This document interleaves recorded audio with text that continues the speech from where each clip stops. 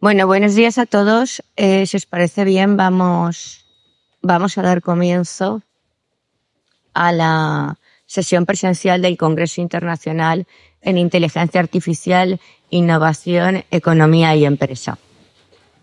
Tenemos el placer de tener con nosotros hoy a Gabriela Rives, eh, directora del Departamento de Organización de Empresa y, y amiga, que va a dar bueno, va a inaugurar eh, esta sesión. Vamos a ver si esto va. Yo creo que tú tienes que apagar y encender. Hola, ¿me oís, no? Sí. Bueno, pues, eh, como ha dicho Marta, somos compañeras de departamento y somos amigas y me pidió pues el, que estuviera aquí para presentar el Congreso Internacional de Inteligencia Artificial en Economía y Empresa y bueno, pues yo encantada de estar con vosotros y, de ver pues también lo que se está haciendo por parte de, del departamento, de la universidad y, bueno, eh, primero agradecer a Marta por, por impulsar este tipo de eventos que creo que, que son importantes eh, ya para, además de para intercambiar conocimientos en, en estos temas tan punteros ¿no? que, que tenemos en, en la actualidad, también para unir porque creo que son más de 87 ponencias y trabajos aceptados los que, los que se van a presentar de forma online en este congreso, pues es un poco también en esa unión de esta universidad con las diferentes universidades donde los eh, investigadores han presentado sus, sus trabajos. Ah, vale, perdón. Eh, no tengo que empezar otra vez.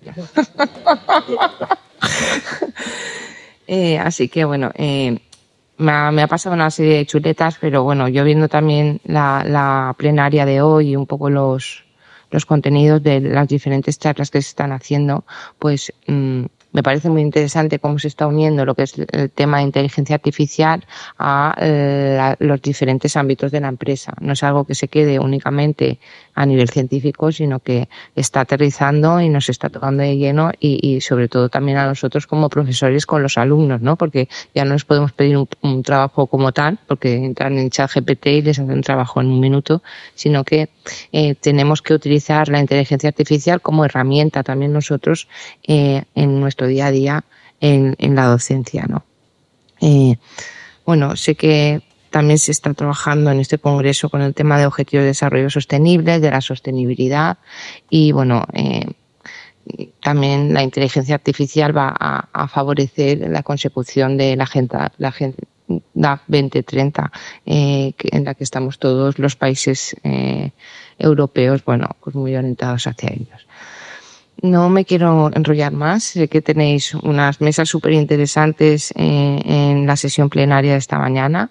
Y bueno, pues eh, agradeceros a todos la participación, eh, que, va a haber un, un, punto de encuentro entre la parte política, la parte empresarial y la parte académica. Y creo que es importantísimo que ese, esa, ese trío vayan unidos, que no vayan cada uno por su parte. Y bueno, pues otra vez agradecerte, Marta, el impulso eh, por organizar este congreso y, y nada, welcome y nada, queda inaugurado el congreso. Muchísimas gracias, eh, Gabriela, por, por, tu tiempo, que sé que tienes una agenda que arde habitualmente. Bueno, pues nada.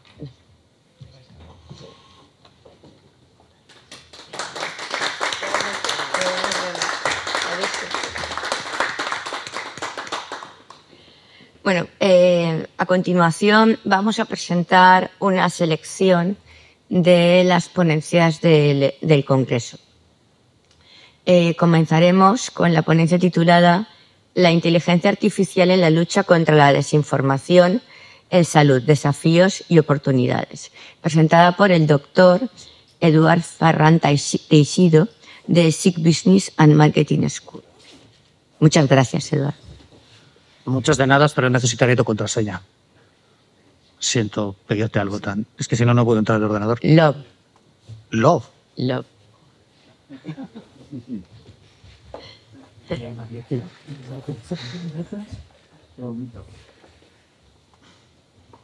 Algo fundamental en la vida.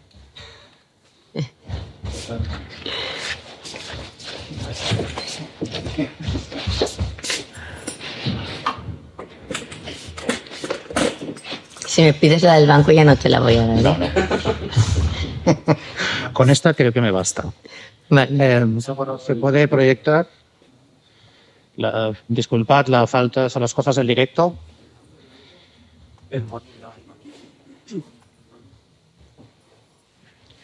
Está todo bien. En todo caso, mientras esperamos un poco. Resumir un poquito cuál es la ponencia. La ponencia es, todos recordamos, eh, hace escasos cinco años ya, el tema del COVID-19, cómo nos afectó. Nos afectó de muchas maneras, incluso, sobre todo, en la comunicación y en la información. Eh, el tema de las fake news afectó a todo lo que era el trato comunicativo y afectó a la población y a sus reacciones en cuanto recibían de una manera o de otra esa comunicación. Había como mucha interferencia. Eh, evidentemente, eso fue un caso de estudio mm, profundo por todos los académicos y también los profesionales, es cuál es la, la injerencia de las fake news en las comunicaciones, sobre todo en temas que son tan candentes como puede ser una pandemia, es decir, en temas de emergencias. Cuando ya creíamos que dominábamos un tema y habíamos visto, por ejemplo, que los, eh, en, la, en, la, revista española de comunicación del 2020, Francisco Fernández publicaba un interesante artículo, o incluso el CSIC nos daba, publicaba y nos daba un, una magnífica investigación sobre entender y combatir la desinformación entre ciencia y salud. De repente, cuando ya teníamos todo ese tema acotado y cuando ya sabíamos cuáles eran las incidencias de las fake news sobre la comunicación en salud, pero cuando digo salud no es solo el ministerio, no solo la parte pública, sino también en la industria farmacéutica, que es lo que nos, atañe, y también en la industria sanitaria, es decir, hospitales y de emergencias. De repente nos damos cuenta. A ver si esto. Nos damos cuenta que tenemos un paso más, que es que pasamos de las fake news a la interrupción de algo que conocemos como inteligencia artificial y que su supone un paso más en la lucha contra estas fake news y cómo podemos de repente encontrar oportunidades ante los desafíos que plantea esta nueva manera de descomunicar. De esta manera nos planteamos un estudio, que es el que van a, van a saber a, a, continuación, para generar identificar, bueno, para saber cómo se genera y cómo se identifica la información falsa alcanzando esos niveles de sofisticación que pueden afectar y de hecho afectan a todo el proceso económico del sistema sanitario. El estudio planteaba de esta manera, ya habíamos visto la presentación, la, el prólogo, el estudio tiene como objetivos, pues, bueno, ver cuál es el potencial de la inteligencia artificial, evaluar ese doble filo que representa en el contexto de salud, es decir, tiene un potencial tanto para generar, pero también para combatir la información. Hay inteligencia artificial que controla y define información generada por la inteligencia artificial para intentar contrarrestar esos elementos. Y otro de los objetivos es que a través de este estudio intentamos identificar un poco los desafíos clave y las oportunidades que presenta esta inteligencia artificial ante estos nuevos retos, para trazar un nuevo camino hacia una utilización, sobre todo en la información, más ética y más efectiva. Uno de los grandes problemas puede ser la, eficacia, ¿no? tal como comentaba antes la doctora Gabriela, que ahora tenemos los que somos parte docentes, parte empresarios, la, la, gran amenaza por la parte de la docencia de la inteligencia artificial, pero a la vez tenemos el gran reto y la gran oportunidad de la inteligencia artificial. ¿no? Esas dos balanzas que se contraponen. Entonces, para ello hemos utilizado una metodología que ha sido, pues bueno, revisión evidentemente de la literatura que puede haber desde los pocos últimos años se han realizado estudios en este sentido. Pongamos desde el 2019, 20, 21, 22 hasta el actual 23, 24. Y luego se han realizado entrevistas cualitativas que están en proceso de recapitulación. Estas entrevistas, bueno, pues completan el estudio con los expertos, pero sobre todo expertos en tecnología, de inteligencia artificial, ética, comunicación en salud y también hemos buscado obtener, pues bueno, buscar un poco una, complexión, una comprensión holística de cada uno de los elementos. ¿Para qué? Pues bueno, porque este enfoque mixto, tanto ver lo que es la inteligencia artificial como también llevar a cabo una investigación cualitativa, este enfoque mixto nos permite una evaluación profunda de las herramientas de la inteligencia artificial actuales y su impacto en la diseminación de la información de la salud. ¿Por qué? Porque se genera una tensión inherente en el uso de la inteligencia artificial. Mientras la aplicación en la detección promete mejorar la calidad de la información disponible en el público, el mal uso lo que hace es tirar hacia el otro lado, ya lo habíamos comentado quizás al principio. Con lo cual, viendo esta tensión que se genera en la, IA, en el estudio de la IA y su aplicación a la industria farmacéutica, y sanitaria en cuanto a comunicación, vemos unos resultados. La revisión de la literatura y las entrevistas nos han reflejado una variabilidad en la efectividad de las herramientas de la dirección en la cual utilizamos la inteligencia artificial. Y por el otro lado, vemos que necesitamos una, nuevas estrategias educativas para el uso de la inteligencia artificial. Sobre todo, destacar la necesidad de estrategias dirigidas al público para fomentar una mayor comprensión y discernimiento en el consumo de información. ¿Por qué? Porque, como habíamos hecho, habíamos hecho en otra investigación, el uso de la inteligencia artificial produce en el público, en la sociedad en general, una especie de disociación realidad-ficción, lo cual significa y aporta momentos de depresión y ansiedad, lo cual significa un desequilibrio emocional. Con lo cual necesitamos un punto holístico, comunicación, como comunicamos, psicólogos y educadores, para que la gente pueda entender de dónde viene y cómo se consolidan y se solidifican los procesos de información, sobre todo ante momentos de emergencia como es la sanitaria. Los resultados nos dan un curioso, curiosa conclusión, que es que dato más relato mata al relato. Es decir, los datos más una buena manera, una buena historia, un buen storytelling, mata lo que es las fake news. Las fake news son informaciones basadas solo en elementos emocionales. Es decir, lo que yo creo y siento es la verdad. Entonces, lo que necesitamos desde una óptica, sobre todo en temas pandemia, emergencias sanitarias o emergencias globales, es llevar esa emocionalidad con racionalidad para enfrentarnos a las fake news. Y en eso la inteligencia artificial nos puede ayudar mucho. ¿Por qué? Porque, bueno, pues realmente pues, maximiza los beneficios y minimiza los riesgos si sabemos utilizarla en equilibrio.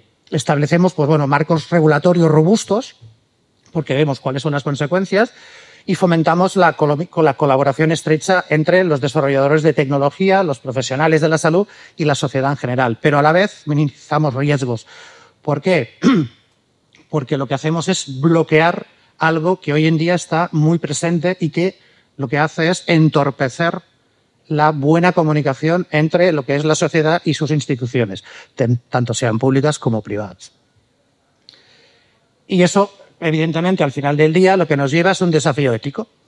Tenemos que tener unos, unos desafíos éticos que planteen cómo usamos la inteligencia artificial en el contexto de la salud, sobre todo en un tema tan candente como es la salud. Y luego tenemos que buscar una colaboración entre desarrolladores de tecnología y, como decíamos, también comunicadores, storytellers y la sociedad en general. De otra manera, podemos caer, caer en el proceloso mundo de la divagación, el no saber dónde estamos y generar un marco totalmente turbio. Esta regulación debe generar una colaboración por el otro lado. Es tan sencillo como esto. Es un estudio, ha sido muy rápido y nos ha establecido, pues eso, una necesidad de establecer unos marcos regulatorios, un desarrollo de la tecnología para captar dónde está la falsa inteligencia artificial, la falsa noticia, el fake news, y fomentar además la colaboración entre diferentes campos eh, profesionales, incluidos los campos de la comunicación. Y ya está, estos son el procedimiento, el tema de salida, las conclusiones finales, etcétera, de este, de este estudio sobre la injerencia de la inteligencia artificial, las oportunidades y los desafíos que nos encontramos en comunicación y en la empresa. Si alguien tiene alguna pregunta, estaría encantado de poder. ¿Alguna curiosidad, alguna pregunta por parte del público? Eh, la revisión de la, de la literatura que habéis hecho, espero que habéis visto que la verdad secundado y han empezado desde, desde el 19, ¿no? Imaginen. Hmm. Anterior a eso no hay nada escrito. Sí, lo que pasa es que hemos hecho un corte eh, buscando, evidentemente, cuán, justo en el periodo eh, COVID, para saber cuál había sido la inferencia de, la, de las fake news dentro del marco de la información de la pandemia, ver cómo esto eh, afectaba a la sociedad. Entonces, evidentemente, estábamos buscando esa, esa, literatura. Anteriormente sí que hay, evidentemente. Se habla de fake news. Ya sabemos que bueno, pues con Obama saltó el uso de las redes sociales y con Trump saltó el uso de las fake news ya directamente. Pasamos de un escenario de posverdad a un escenario fake directamente. Cosa que ha estimulado también el uso de los falsos vídeos, donde habrá visto los vídeos de Obama haciendo un discurso racista, por ejemplo. ¿No? Pues básicamente eso se hace con una aplicación se llama Level Labs, por ejemplo, que imita las voces. Es muy fácil. Entonces, tuvimos que poner un corte porque nos interesaba, sobre todo en emergencias sanitarias, como escenario, no solo como escenario de sanitario o social, sino también como, como industria. Y tuvimos que centrarlo aquí para ver después cómo afectaba a la IA. Sí, si no, claro, si nos vamos para atrás, podemos, podemos llegar hasta los soviéticos. Mm, yo también tengo una, una pregunta. A ver, desde la nueva perspectiva que ofrece la inteligencia artificial, ¿no? Y en el contexto específico de la desinformación en, en salud, tanto en vacunas, pandemias, dietas milagro, etcétera, eh, ¿cómo conecta tu investigación con la literatura sobre el storytelling? ¿Cómo conecta? Vale. no, bien, no, interesante pregunta, muchas gracias. Sí, ciertamente. Yo, mm, bueno, en mi tesis doctoral versa sobre eh, eh, storytelling. eres un experto en storytelling. en su momento sobre storytelling y la eficacia del uso de las, de las narrativas y de las estructuras narrativas para conseguir eh, marcas más eficaces y comunicaciones más efectivas. Entonces, ¿cómo se une? Evidentemente, la IA es un gran motor para generación de historias, pero no historias porque me invento un cuento, sino básicamente para detectar cuáles son la base de cualquier historia en la que se base una empresa o en la que se base una comunicación, que es, por ejemplo, eh, los arquetipos. El uso de arquetipos es la base principal. ¿no? Jung ya lo planteó, pero tenemos en el mundo del marketing y de la comunicación Carol Pearson, y Margaret Mark, que tiene un libro, se llama El fuera de la ley, El héroe y el fuera de la ley, que es, un icono en el mundo del marketing y del storytelling, que nos plantea ese tipo. ¿no? Si queremos comunicaciones efectivas y eficaces, necesitamos que eso que vamos a comunicar represente a alguien, por ejemplo. Puede representar a un cuidador o puede representar a alguien que es un jefe que es el que dedica las, que hace las normas, el mago. es decir, todas las marcas pueden analizarse desde un punto de vista de un arquetipo. ¿Por qué? Porque, por suerte o por desgracia, nuestra mente lo que hace es sintetizar. Los procesos comunicativos son muy complicados. Entonces, el storytelling, ¿qué nos ayuda? Nos ayuda a comunicar todos aquellos elementos que queremos a partir de un punto base que sería ese arquetipo. ¿De acuerdo? Entonces, ¿dónde, dónde vemos eso? ¿Por qué las historias son tan importantes? No sé, pero yo supongo que algunos hemos hecho la comunión somos católicos. La religión católica, por ejemplo, o la religión musulmana o la judía, las grandes religiones monoteístas, se basan en el uso de historias. Las parábolas no son más que historias que comunican elementos éticos, elementos de uso social, que comunican leyes, comunican cosmogonías. La mitología griega, los griegos no eran tontos, sabían que muchas cosas no se, no tenían un lazo directo con la realidad, pero era una manera de entender su mundo y de consensuarse entre ellos, sentirse sociedad y entender lo que estaba pasando. Es el yo contra los demás. Cuando alguien tiene otra tradición, otra cultura, otra historia, e, e, es del otro. Por eso los grandes conquistadores decían que no hay que someter a un pueblo a fuego y espada. Tienes que eliminar su historia. No su historia, sus historias, sus tradiciones. Cuando a ti te eliminan eso, tú desapareces ahí es un poco donde alcanza. ¿Y la inteligencia artificial de qué me sirve? Me sirve para buscar, investigar y generar esos espacios que simplifiquen la comunicación y haga que grupos de gente que recibe esa comunicación se sienta parte de y sobre todo entienda lo que quiero decir.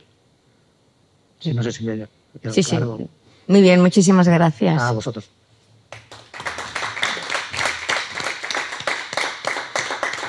A continuación, vamos a escuchar la ponencia de Aarón Martínez Martín de la Universidad Politécnica de Valencia titulada Factores influyentes en el ascenso de un CTO en España. Pues muy buenas, eh, bienvenidos. Nada, voy a, a presentar esta ponencia, como ha dicho Marta, sobre cuáles son los factores que, influyen en, el ascenso de un director de tecnología en el contexto de España. Eh, la estructura que vamos a seguir es una pequeña introducción y el objetivo principal, ya comentado en, el título. Eh, luego, la metodología que se ha seguido, unos resultados y la discusión de los mismos. Así mejor. Eh, y luego unas pequeñas conclusiones y, y la bibliografía utilizada.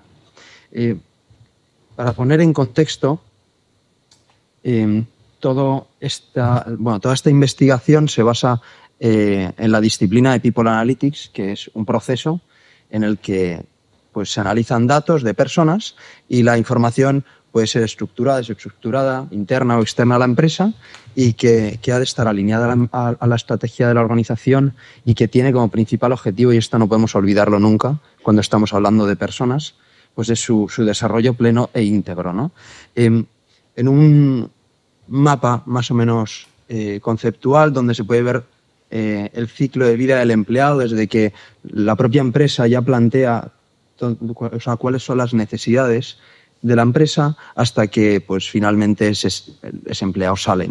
Pues People Analytics puede aportar valor en todos estos eh, en todos estos aspectos. Nosotros nos centraremos en, la planificación de la plantilla porque, claro, queremos saber, por ejemplo, si fuéramos un equipo de selección, el responsable de selección de una empresa, pues realmente a quién deberíamos de elegir, ¿no?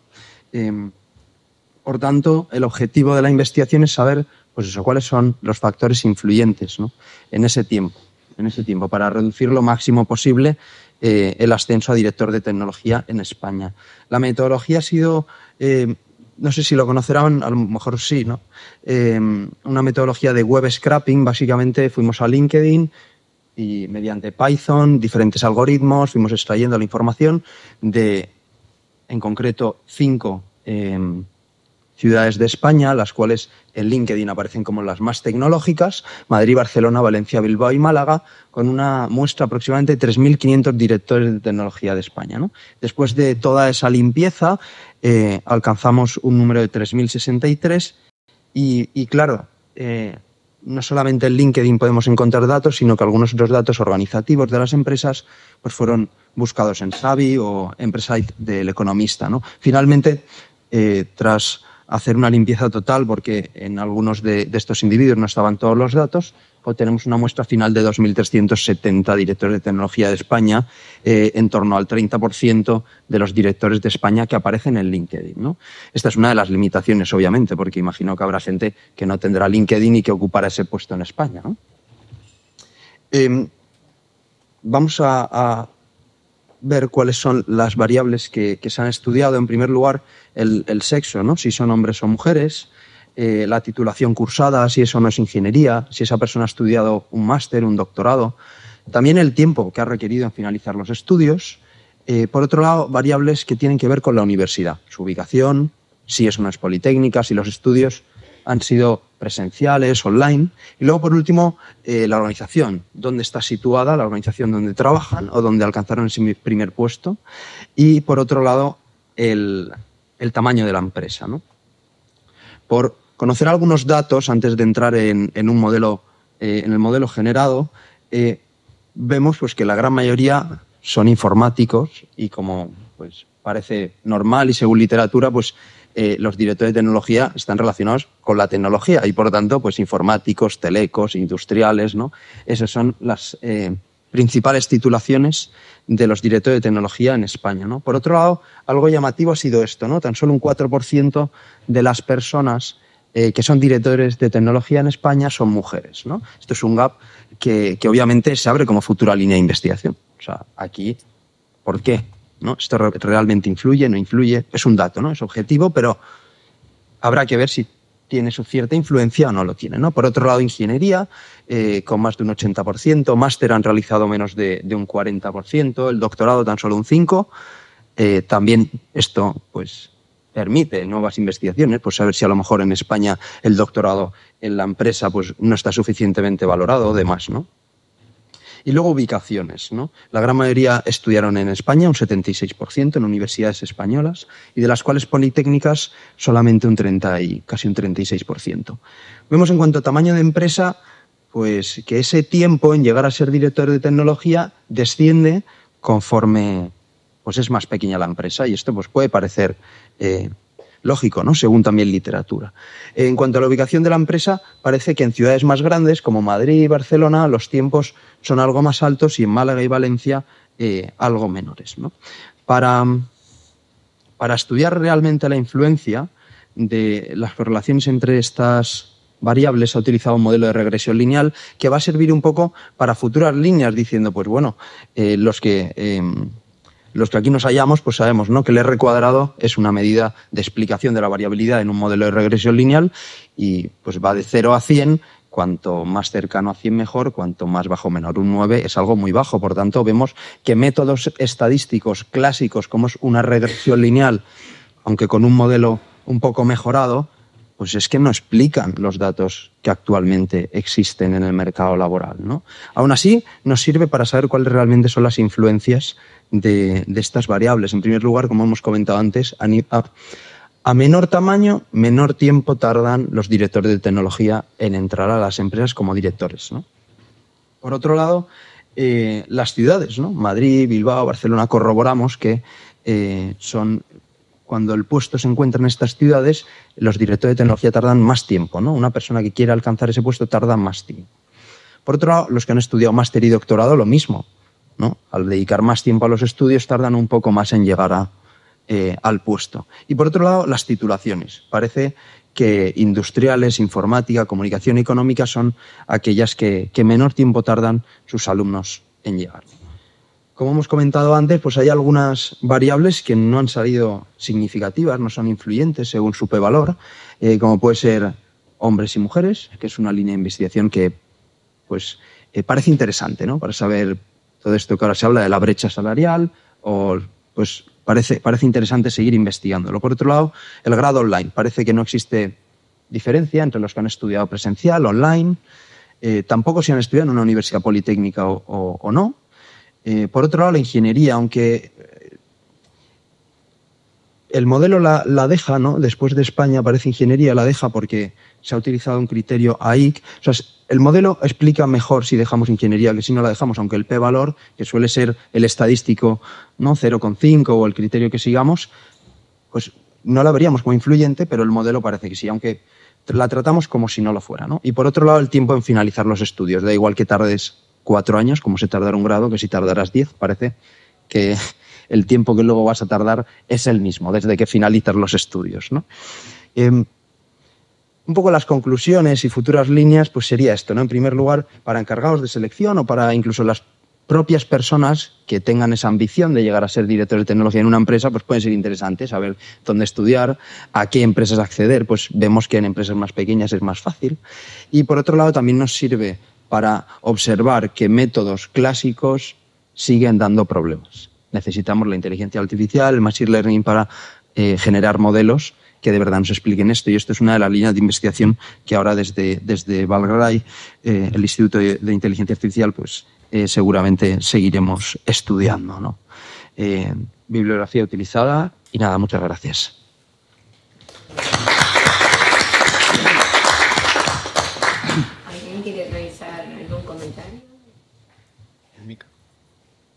¿Alguien quiere realizar algún comentario, alguna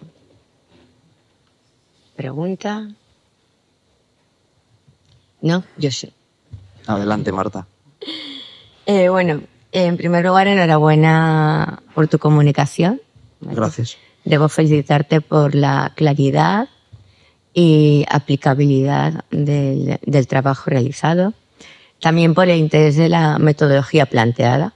Parece muy, muy interesante. Y desde la perspectiva de, esta metodología que has utilizado. ¿Podrías ofrecernos un mapa de aplicación en el mismo contexto de análisis de minería de datos?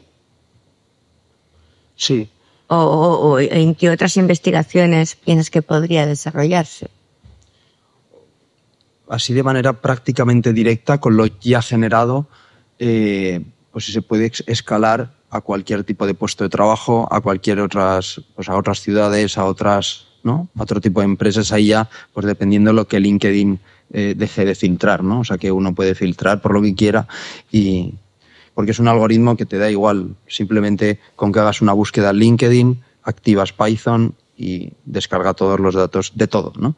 Eh, principalmente de toda la eh, toda la información profesional y toda la información educativa, ¿no? aunque se puede extrapolar a algo que también LinkedIn tiene, pues aptitudes y demás. ¿no? Entonces eso así como primer, eh, no, primera aproximación. Imagino que como es código abierto, tú al final puedes utilizar no simplemente LinkedIn, pues a lo mejor Indez, que es también no otro portal de empleo online, pues también se puede, ¿no? Pero siempre esto que se ha generado, eh, esta herramienta de web scrapping, tendrá como objetivo la obtención del dato. ¿no? Luego los modelos que se utilizan para predecir o para explicar, pues no entran, ¿no? Porque como que el objetivo es otro, el objetivo es la obtención del dato. No sé si te referías a esto, Marta, sí, o sí. pues esto sería. así. Vale, perfecto. Muchísimas Nada, a ti, gracias. luego. Bueno, a continuación, el doctor Pascual Cortés Pellicer, de la Universidad Politécnica de Valencia, nos presentará su trabajo titulado Aplicación de la inteligencia artificial en la logística de la última. Bueno, buenos días. Gracias, Marta, por la invitación. Mi nombre es Pascual Cortés Pellicer. Vengo también de aquí, de la Universidad Politécnica de Valencia, y vengo a presentar el trabajo sobre la aplicación de la inteligencia artificial en la logística de la última milla. Bien, en este caso, el artículo que vengo a presentar contiene la estructura que vemos a continuación. En primer lugar, realizaré una pequeña introducción sobre, sobre el tema tratado. En segundo lugar, se expondrán los, los objetivos que se plantean en el, en el trabajo. En tercer lugar, hablaremos sobre la metodología que se, que se sigue en el trabajo. Y finalmente, hablaremos de los resultados y las posteriores conclusiones que hemos obtenido a partir de, de estos resultados. Bueno, en primer lugar me gustaría hablar de la creciente población que tenemos en las ciudades. Como todos sabemos, cada vez hay más gente que vive en los núcleos urbanos y se presuponía sobre el 2022 en el que cerca del 56% viviría en las grandes ciudades en el año 2021 y cerca del 68% se espera para el 2050. Además, hay que tener en cuenta como supongo que como todos sabemos como usuarios, que cada vez tenemos más comercio electrónico. Las ventas a través de los canales online siguen creciendo a un ritmo muy grande, básicamente de dos dígitos de forma anual, y todo esto conlleva a que cada vez existe más flujo de, transporte urbano, más flujo de, tráfico. Con lo que esto genera una serie de problemas para la población, sobre todo, como todos supongo que sabemos y, padecemos de vez en cuando, eh, atascos, cada vez más contaminación e incluso pues, eh, empeoramiento, digamos, del nivel de, vida o de calidad de los propios ciudadanos. Estos factores generan, provocan y junto con otros que se implanten nuevas regulaciones ambientales. Y tratándose de los núcleos urbanos, como no, podríamos estar hablando de estas restricciones de vehículos, sobre todo privados, en los núcleos urbanos, ¿no? que cada vez se están poniendo más a, la, a, la, orden del día y que, como no, afectan directamente a las empresas de logística de, la, de última milla aquellas empresas que, como, como ustedes conocen, son las que se destinan a hacer la entrega final de, de pedidos de paquetes a sus clientes, llegando incluso hasta, hasta la puerta de casa. ¿no? Y esto ha conllevado, sigue conllevando en un gran eh, incremento de costes para este tipo de empresas, junto además a esta necesidad de buscar, digamos, alternativas más más, sostenibles, más verdes y esa continua eh, exigencia de, atención al cliente, ¿no? Puesto que es, la último, es, el último eslabón de la cadena de suministro, es el que tiene el contacto directo con el cliente real y que muchas veces depende de, de ese pequeño eslabón la calidad de, todo, de toda la cadena de suministro. Bien, teniendo esto claro, debemos también empezar a conocer las aplicaciones de la inteligencia artificial, que como ustedes saben, están irrumpiendo mucho en, en nuestras vidas y, como no, dentro del sector o del campo de la logística y la cadena de suministro, digamos que es un sector que también tiene un amplio recorrido de implantación. Y el hecho es que este tipo de, aplicaciones lo que, lo que están fomentando, lo que están consiguiendo es poder eh, realizar hoy en día una serie de tareas de manera autónoma, sin, sin apenas intervención humana y que incluso puedan ayudarnos a, a tomar decisiones. Desde el campo de la logística y la cadena de suministro, digamos que las aplicaciones de, de inteligencia artificial se centran básicamente en podemos decir, en toda la cadena, ¿no? Desde el punto de vista de la gestión con compradores, con clientes, la gestión de los almacenes, del inventario o incluso de, la, de los recursos humanos, ¿no? Por ello, digamos que desde este punto de vista, las aplicaciones de inteligencia artificial mm, nos aportan una, facilidad, digámoslo así, de analizar gran, gran cantidad de datos, ¿vale? Y de ayudarnos a crear estos sistemas de, de apoyo a la, a, las toma, a la, toma, de decisiones, ¿no? podríamos decir. Y es que eh, debemos tener en cuenta las, las, principales características que podríamos destacar que tiene la inteligencia artificial para ayudar justamente en la toma de decisiones dentro del campo o del ámbito de la, de la logística y de la cadena de suministro. ¿no? Y en este punto eh, hemos destacado cinco. ¿no? En primer lugar, ese, aprendizaje automático y esa mejora continua que podemos conseguir con el uso de la inteligencia, artificial. Perdón. En segundo lugar, esa capacidad de procesar gran cantidad de datos o incluso datos eh, no estructurados. En tercer lugar, eh, esa facilidad de um, automatización y eficiencia en los, procesos, en los procesos operativos de cualquier empresa. En cuarto lugar, esa mejora en la propia eh, trazabilidad y el análisis predictivo, cosas que nos vienen muy bien para poder eh, afianzar esa, mejora sobre los análisis de, trazabilidad y sobre las predicciones. Y finalmente esa capacidad de poder eh, adaptarse y poder personalizar, ¿vale? Desde el punto de vista de mejorar esos servicios de cara precisamente en el ámbito de la logística y sobre todo en la logística de la, de la última milla. Por eso podríamos decir que se puede interpretar que, la inteligencia artificial puede desempeñar un papel eh, fundamental, diríamoslo así, ¿no? En, esas operaciones principales de este tipo de, de, de, empresas o de sector, debido a que es un entorno eh, bastante complejo e incierto, ¿no? Y como ya hemos visto, cada vez parece que tiene más, más problemas, ¿no? O más trabas para poder, para poder trabajar. Con ello, evidentemente, el objetivo que, se plantea en este trabajo es poder investigar cuál es el impacto de la inteligencia artificial dentro del ámbito de la logística de la última milla, pudiendo destacar, por un lado, eh, sus aplicaciones más, más, más, relevantes, el valor que pueden aportar a, a la cadena de suministro y, y, hacia dónde parece que, que, nos vamos a ir enfocando ¿no? en, en, en este sentido. Por ello, la, metodología, en primer lugar, se va a centrar en una, revisión de literatura que nos permita eh, poder identificar aquellos estudios relevantes que, puedan abarcar, la aplicación justamente de, la inteligencia artificial dentro de este ámbito de la logística o incluso en en los otros ámbitos, de forma que podamos entender que nos permita un análisis integral de las tecnologías existentes para luego también poder determinar cómo podemos mejorar esos procesos eh, logísticos.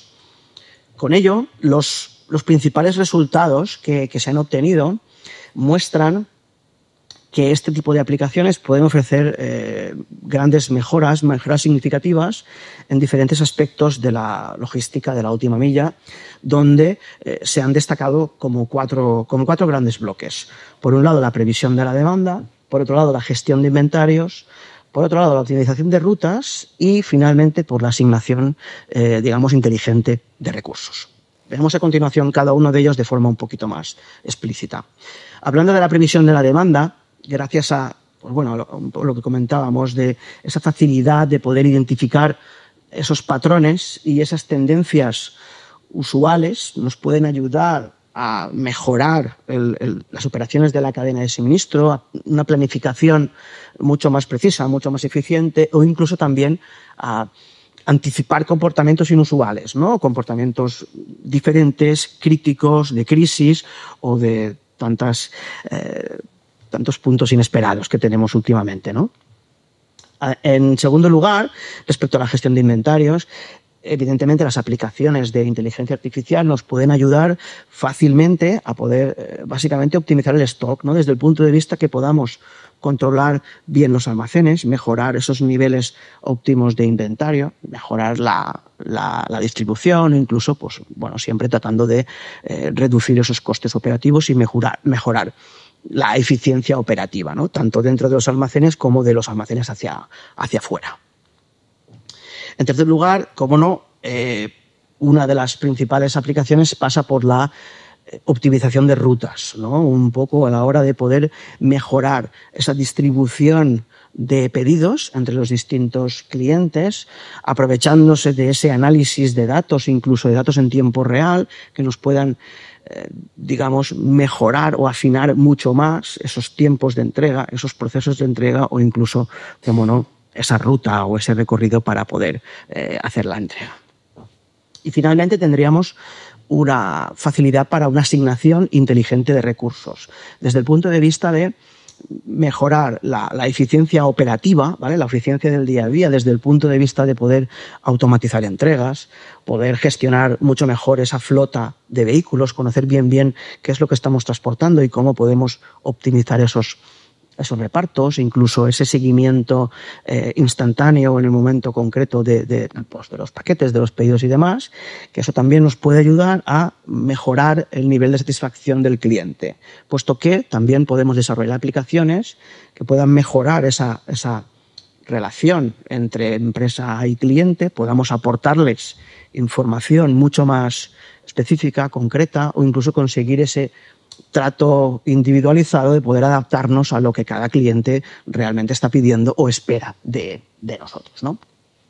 Bien, con, todo esto eh, podríamos, digamos, concluir en que sí o sí la inteligencia artificial se está posicionando como una herramienta eh, fundamental para poder ir afrontando estos, estos desafíos actuales, que no son pocos, que tiene la, la logística de última milla, ofreciendo esas oportunidades para poder mejorar, como no, su, sus propios procesos efectivos, la sostenibilidad y finalmente también la satisfacción del, cliente. Convirtiendo, digamos, eh, este tipo de negocios en, en, como no, negocios más modernos, más ágiles, más flexibles, más adaptables y, más resilientes, ¿no? Asumiendo evidentemente la, la característica de la eficiencia en los costes y, por supuesto, la, sostenibilidad y el trato con el cliente. Por ello, y ya como, digamos, como cierre y como apertura de, de futuras eh, líneas de trabajo, eh, hay que estar pendiente de cómo esta tecnología va a seguir evolucionando y cómo la vamos a ir pudiendo eh, adaptar o aplicar en este sector concreto, ¿no? El de la logística de la última milla, ya que, bueno, a la vista, a la vista parece que, que, que está ofreciendo un, un, potencial muy grande para poder mejorar este campo y poder transformarlo en algo fundamental. Y con ello acabaría mi presentación. Muchas gracias y quedo a la espera de cualquier pregunta que quieran hacerme.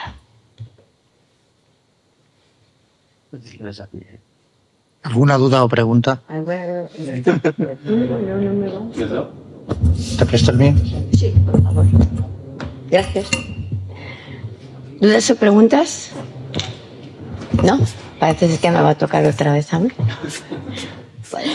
Bueno, eh, el reto de la última milla ofrece, como visto, todos los elementos para desarrollar una amplia investigación, ¿no? Desde la perspectiva que has presentado. Sí. Entonces yo me gustaría preguntarte dos cosas. Hmm. Eh, ¿Cuáles son los principales temas que van a orientar el debate académico sobre este campo de estudio? ¿Qué es lo que opinas, por una uh -huh. parte? De ahí me gustaría saber cómo se podría extender las aplicaciones desde la inteligencia artificial al resto de ámbitos de la logística y de la cadena de suministro. Vale, vale, ok. Bien, eh, bueno, en primer lugar yo creo que desde el ámbito académico es, es evidente que hay que seguir un poco a, la expectativa de qué es lo que va a, ir evolucionando la, inteligencia artificial y yo creo que el reto pasa en poder desarrollar esas mejoras, esas, esas aplicaciones más, innovadoras de cara a poder facilitar esa mejora de procesos eh, efectivos y esa mejora de trabajo dentro de las empresas de logística de última milla y sobre todo eh, el cómo se hace llegar. ¿no? Es decir, está muy bien que aquí hablemos y que divagamos y discutamos de todo lo bonito que puede ser, pero lo que interesa al final es que eso llegue a, a donde tiene que llegar, ¿no? A, a, las empresas que día a día se enfrentan a, a, estos retos, ¿no? Y entonces creo que también es trabajo de, desde el punto de vista académico, de ver cómo se puede facilitar esas mejoras y esas innovaciones para que puedan ser aplicables a la realidad de la, de la logística de, última milla, ¿no? Creo que eso es el aparato fundamental, ¿no? Independientemente de evidentemente no, no, no, desistir en el campo de seguir eh, investigando, seguir viendo qué nuevas innovaciones podemos tener o qué nuevas aplicaciones se pueden desarrollar. ¿vale? Y luego respecto a la segunda pregunta, claro, evidentemente, como hemos visto, estas aplicaciones de la, de la, inteligencia artificial en la logística de la última milla son ampliamente extendibles ¿no? al resto de, de, eslabones, podríamos decir, de la cadena de suministro, desde el punto de vista de gestión de compras, de proveedores, de, almacenes, de inventario y demás. Pero en este caso, por ejemplo, me gustaría destacar eh, esa aplicación a la, a la, logística inversa, por ejemplo, ¿no? a, la, esa logística de de tratamiento sobre la, productos recuperados o devueltos, en el que, aparte de estos aspectos que ya hemos visto, o incluso el, poder combinar esos productos entregados con los productos devueltos, ¿no? El poder gestionar esas rutas, esos inventarios, esa combinación de inventarios, el cómo además la inteligencia artificial puede ayudar a los tratamientos que se pueden aplicar a cada uno de esos productos recuperados, devueltos, destinando o determinando cuál puede ser su mejor eh, tratamiento o cuál puede ser, en definitiva, eh, la mejor forma de actuar sobre cada, sobre cada producto. Muchísimas gracias, Pascual. Gracias.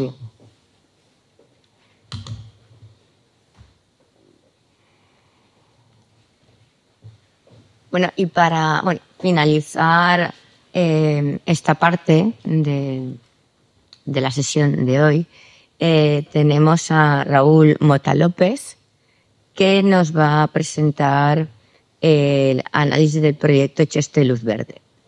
Eh, Raúl eh, Mota pertenece al Colegio Profesional de Ciencia Política, Sociología, Relaciones Internacionales y Administración Pública de la Comunidad de Madrid.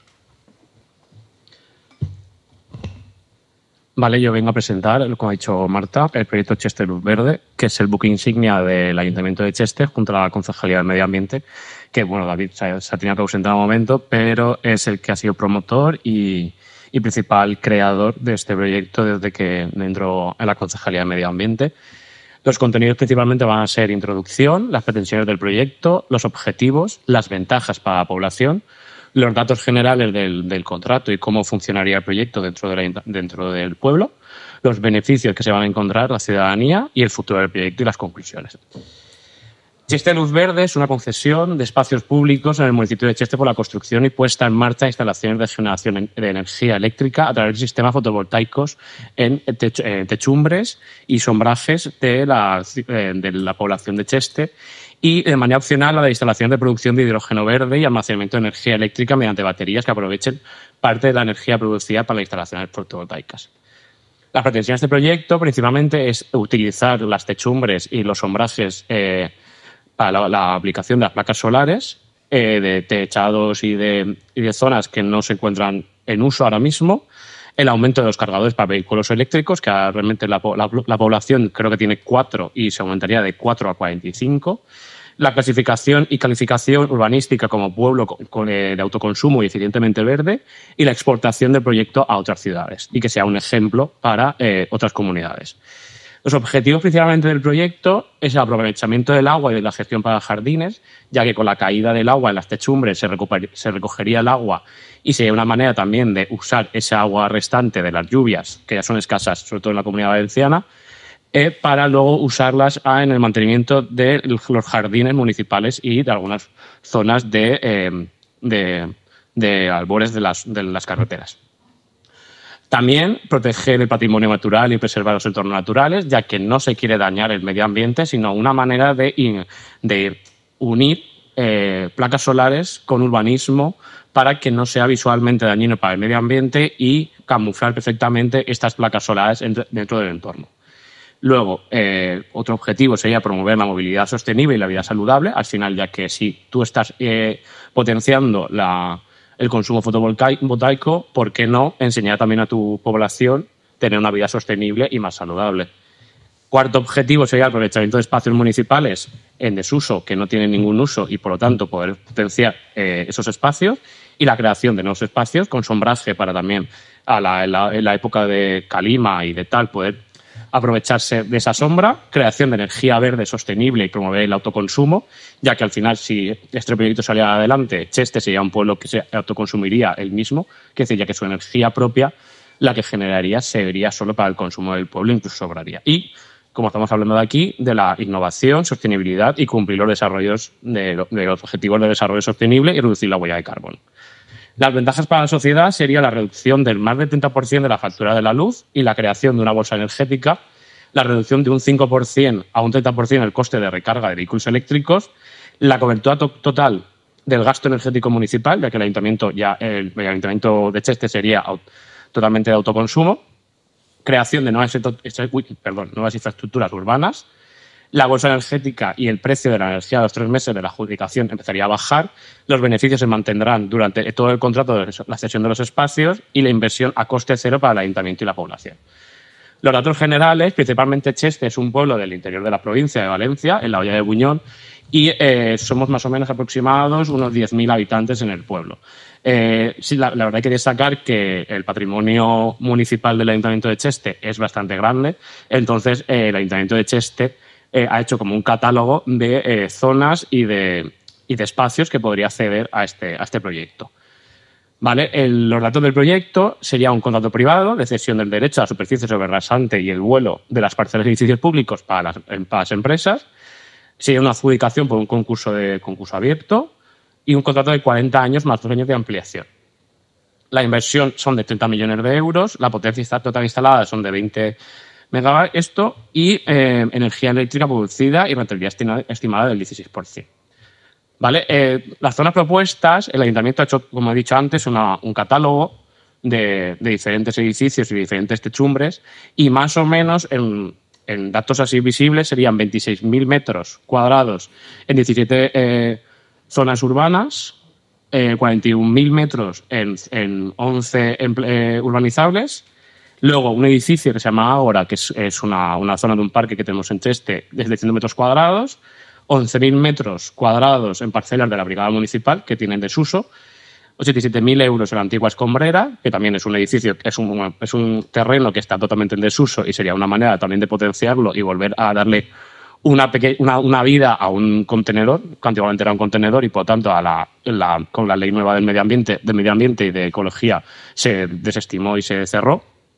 Luego, aparte de tener grandes mm, polígonos industriales, etc., que tiene cuatro, junto ahora el, desarrollo del parque empresarial, tendría 180 metros cuadrados en parcelas del polígono, el cinturón verde, que es uno de los pueblos que tiene un cinturón verde junto a una circunvalación alrededor de todo el pueblo para, que sea la, la, circulación tanto de por coches como eh, por vianante más fácil para recorrer todo el pueblo y luego tenemos el cementerio, incluso también aquí tenemos que incluir el, tema del circuito del motor.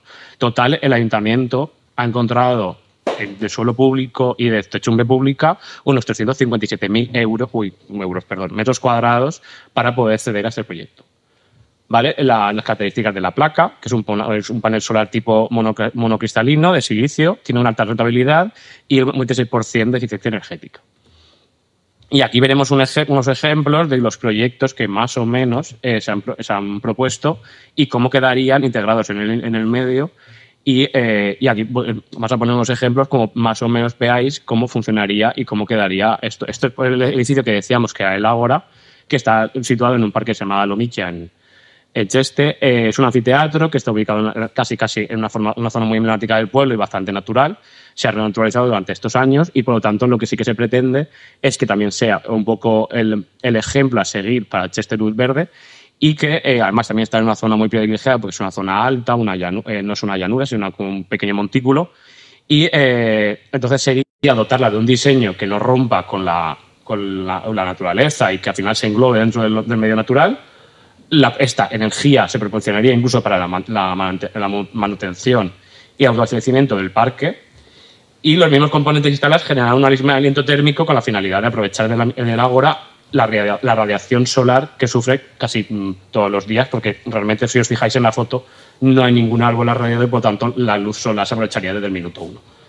Luego otro parque, esto es, por ejemplo sería un ejemplo de parque que hay, que es una zona de calistenia, y en Cheste sí que tenemos, la, la suerte que tenemos, que tenemos bastantes plazas. Entonces, lo que sería es extrapolar este ejemplo de- del parque de calistenia a diferentes plazas del pueblo. Y lo mismo sería dotarle una estructura de diseño que no se entone con el entorno. Principalmente, lo que sí que se mm, pretende con Cheste Luz Verde es que nada desentone con el entorno, que todo se, englobe dentro del urbanismo y de las políticas urbanísticas que tiene el Ayuntamiento de Cheste. Proporcionar energía eléctrica con el, aprovechamiento de su desplazamiento y orientación.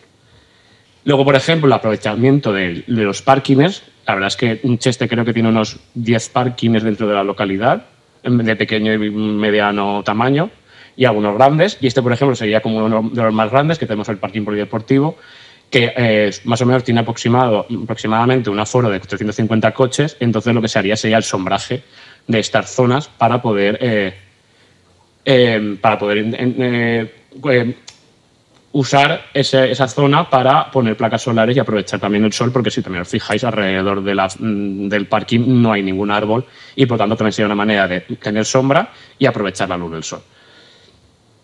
Luego, lo que estamos hablando del cinturón verde, que al final Cheste ha sido uno de los pueblos pioneros creando eh, un cinturón verde y una circunvalación para los vehículos, es que aprovechar el cinturón verde que se está creando y que creo que se debe impulsar usando también los sombrajes y aumentar el cinturón verde de la localidad para que al final la sombra y el sol se utilicen de manera, de manera equilibrada y al final sea un, ejemplo y al final también eh, una manera de tener luz solar natural, eh, que la gente disfrute del entorno natural y que esto nos ayude a mm, desarrollar el proyecto.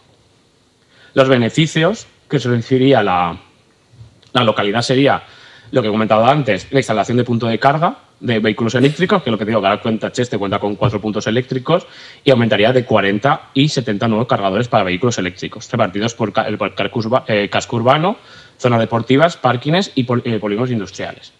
Luego, la bolsa energética, toda la creación, todo el, residuo que quedaría del, no consumo de la, de, la, de la energía se quedaría como una bolsa energética que sea gratuita para la, para la localidad y eh, de entre 100 vatios y y 350 vatios cada mes por cada hogar o empresa del municipio. Sería el precio muy reducido, reducción del precio de la energía comercializada en Chester entre un 10 y un 20% con respecto al precio del mercado. La reducción también del precio de carga de los vehículos eléctricos entre un 5 y un 20%. Se crearía zonas de sombra, principalmente, que sería lo más importante, sobre todo eh, cara al cambio climático y cada vez que hay menos, menos, menos días nublados y al final lo- los veranos cada vez son más calurosos, pues vendría muy bien para la localidad. Y fomentar también, pues eso, la vida saludable, una ecología en la población y crear conciencia de que al final el sol es una de las cosas que tenemos, por, eh, por suerte o por desgracia, tenemos en, en nuestra localidad bastante horas de sol y por lo tanto hay que aprovecharlas. Las cifras globales más o menos serían estas tres. Sería un 100%, eh, un, 100 un polo sostenible, un 20% de ahorro en la factura de la luz y un 80, casi, casi un 80% de reducción de huella de carbono. Entonces, esto más o menos sería el proyecto y ahora mirando cada vez futuro, ¿qué serían los primer- eh, próximos pasos? Primero, incentivar la colaboración público-privada. Creemos que es muy importante que la, eh, la colaboración de la administración pública con empresas privadas que puedan eh, darnos sinergias y, y po- y potenciar y fomentar este producto y extrapolarlo a otras localidades y a otras, y a otras empresas y tal. Creo que, creemos que es muy importante y queremos que incentivar eso. Crear grandes comunidades solares y al final también impulsar y potenciar la investigación universitaria. Creemos que al final la investigación universitaria es pionera, sobre todo en Valencia, sobre todo en el Politécnico de Valencia, es una de las eh, universidades con más investigación universitaria y creemos que también eso hay que potenciarlo. Los objetivos también a futuro serían que al final sí que, eh, que las poblaciones cojan ejemplo y que al final sean autosuficientes y potenciar el uso de la energía solar y, por ejemplo, ya se han interesado ciudades extranjeras como México, Colombia y Marruecos en este proyecto. Así que con esto yo ya he acabado. Si queréis alguna pregunta. Si tenéis alguna pregunta, ¿vale? Bueno, tengo muchísimas. Pues empieza por donde quieras. Sí, a ver, eh, estamos hablando de que tenías movilidad, energía, producción de hidrógeno. Eh, ¿qué, qué potencia, para, o sea, qué, poten- qué potencia estás calculando para esa producción de hidrógeno? Y luego, eh, ¿qué vas a hacer? O sea, ¿qué uso le vas a dar? ¿Como batería en el almacenamiento? Quizás en un futuro como recarga para vehículos eléctricos. Sobre todo va a ser primero lo que han dicho tú, lo de la batería, de guardar toda esa energía restante en una batería y luego para darle un uso, pues, o para cargadores eléctricos, para la ciudadanía o para eh, el uso público, que, del, el uso de la luz, del, del mantenimiento de los, eh, de los edificios públicos. Pero al final, lo que digo, la idea central es conservarlo todo en una batería. Porque ahí va mi segunda pregunta, ¿no? Al final, eh, es ¿por qué elegir hidrógeno y no otra tecnología que al final la eficiencia total de, de- de esa transformación es- sea más eficiente, sea mejor? O sea, ¿por qué no baterías de litio? Que es más sencillo que no es de hidrógeno. A ver, pero por encima el hidrógeno verde también es, un- es eh, un- una energía que al final también está tan, no está en el suelo, sino que también es una, manera pionera de también incentivar, ya no el litio, porque al final también el litio es un contaminante, el hidrógeno verde es mucho menos contaminante que el litio y al final se decide usar materiales eh, no dañinos contra el medio ambiente para que al final esto sea un proyecto totalmente verde, que no solo sea, vale, pues tomamos baterías de litio mm, porque al final son más eficientes y son más baratas en el mercado, pero eh, creemos que al final el hidrógeno verde también es una manera también de incentivar eh, que al final todo el proyecto sea totalmente eh, ecológico y, y sostenible y por eso han elegido el, el hidrógeno verde. ¿Qué potencia de, de batería ibas a poner? Pues eso sí que ahí es que ya. Eso a lo mejor David ahí sí que lo tiene más que es el concejal. El tema de lo de las baterías, a la empresa se le da la posibilidad de generar energía de varias eh, funciones, energía, de- energía solar, con el tema de hidrógeno, eólica, está abierto a cada situación, a cada ubicación.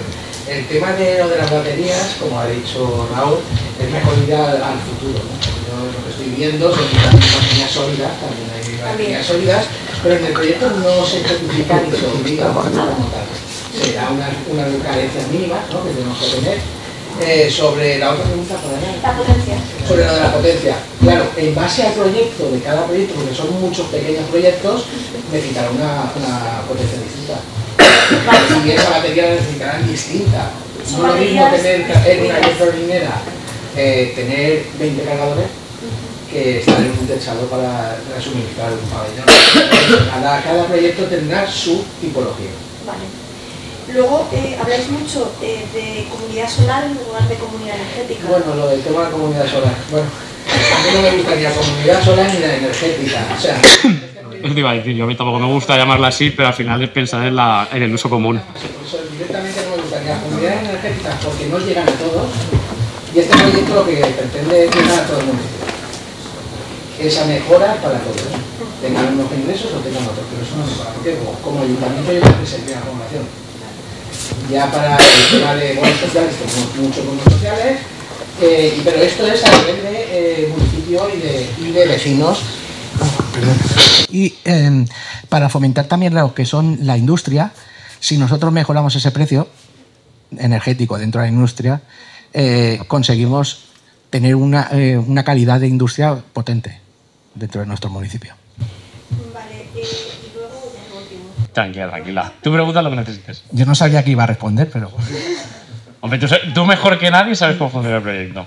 Sí, y luego, me parece muy interesante, yo estoy trabajando para, eh, con el Ayuntamiento de Alcoy y quizás eh, han tenido contacto, estamos haciendo algo similar. Sí, sí. Eh, y luego el último era sobre, estamos viendo tendencias de precio cero, y mucha fotovoltaica.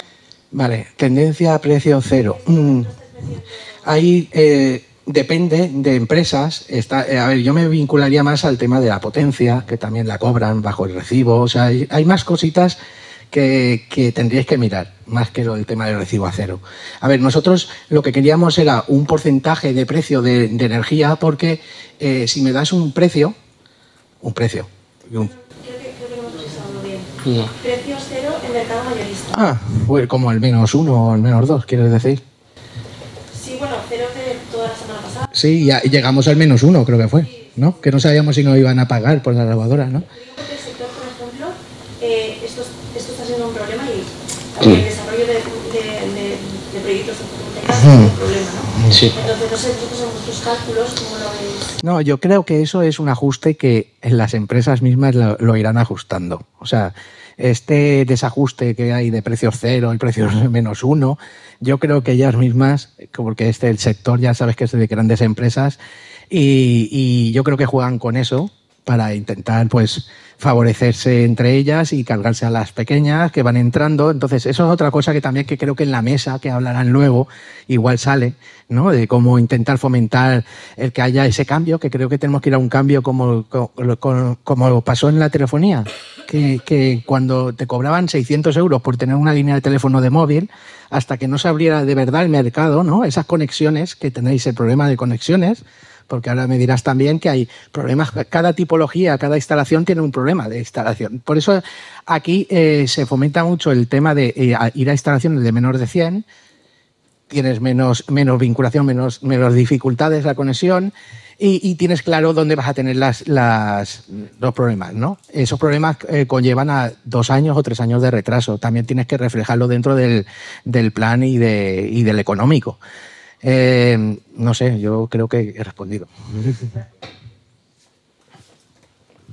¿Alguna, Otra pregunta.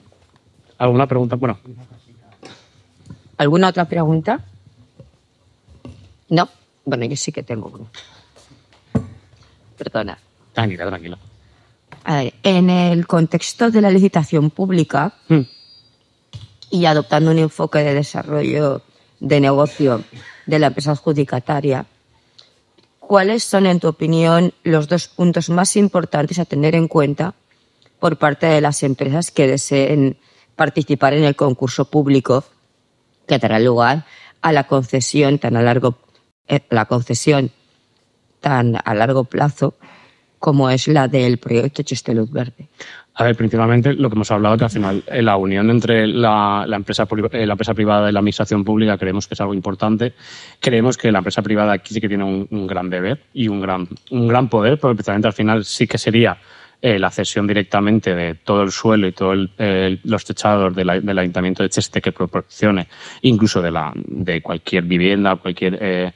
o de cualquier eh, ciudadanía que quiera eh, prestar su techo o su, o su suelo para esto. Entonces creemos que sí que es importante que al final eh, la empresa privada esté involucrada en esto porque al final tiene que beber este, este, este proyecto de la empresa, sin luego David también entra en más detalle, de- tiene que beber la empresa privada, es una gran inversión, pero también es una gr- gran inversión para un futuro. Quiero decir, a corto plazo a lo mejor sí que es una gran inversión de, eh, de- de miles y miles, y miles de euros, pero creemos que al final también es una manera de invertir en un futuro que va a ser a coste cero a largo plazo. Vale, ¿Y yo quería, sí, puntualidad también. Ah, No, no, no. A ver, eh, también es, es importante exponer que, que la empresa privada, ¿no? Eh, hay que fomentarla, pero también eh, desde los municipios para, para proteger lo público, ¿no? Hay que tener transparencia. Y yo creo que las, las empresas que pueden hacer proyectos gran- de gran calado como este y a largo plazo, ¿no?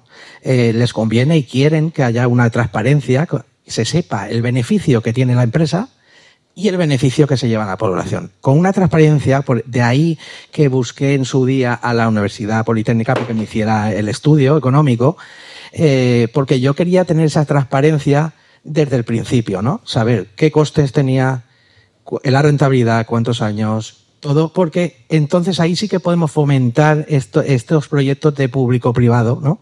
Público-privadas, para que las eh, no sea la rentabilidad que tenga la empresa no sea a coste del ciudadano, sea eh, lo que genere, que es el sol, que nos va a generar esa energía, ya sea el sol, ya sea hidrógeno, eh, ya sea el viento, en algunos es- espacios, eh, se tiene que beneficiar el pueblo, la población directamente, por eso nosotros hacíamos un hincapié en que sea la población que se lleva en ese beneficio, no solo el ayuntamiento, más la población que el ayuntamiento, y que la empresa tenga unos beneficios claros. ¿Por qué? Porque entonces consigues buen trabajo, una empresa que te rinda al 100% y una gestión limpia. Muchísimas gracias, David. Eh, muchas gracias, Raúl.